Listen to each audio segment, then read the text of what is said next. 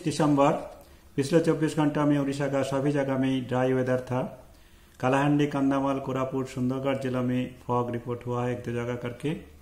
Minimum temperature 10 से नीचे report जो हुआ है आज सुबह, जे उदयगिरी 6.5 हिल स्टेशन है एग्रोमेट फ़ील्ड यूनिट भी है। केरी agromet field unit 7.0 degree Celsius Phulbani 8.5 degree Celsius Keonjhargarh 8.8 degree Celsius, Koraput 8.7 degree Celsius Daringbadi 9.5 Sundargarh 9.0 Rourkela 9.6 Jharsuguda 9.2 Angul 9.6 degree Celsius. Bhubaneswar city में हमारा टेम्परेचर आज सुबह मिनिमम था 13.8 डिग्री सेल्सियस स्वाभाविक से 1.1 डिग्री कम था।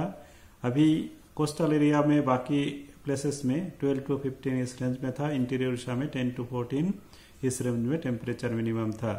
मोस्ट ऑफ़ द प्लेसेस में अभी स्वाभाविक रेंज में ही है plus minus one to two degree का अंदर में ही है। अभी फोरकास्ट हमारा जो है, अगला सात दिन ही सभी जगह में ड्राई वेदर रहने का चांसेस है उड़ीसा में।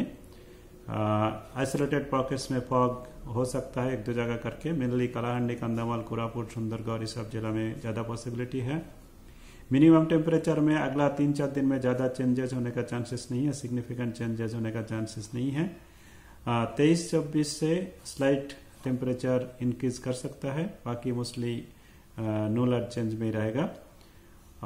भुवनेश्वर सिटी में जो है अभी मैक्सिमम टेम्परेचर आज 27 के आसपास, कल मिनिमम टेम्परेचर 14 के आसपास रहने का चांसेस है मेनली क्लियर स्काई रहेगा।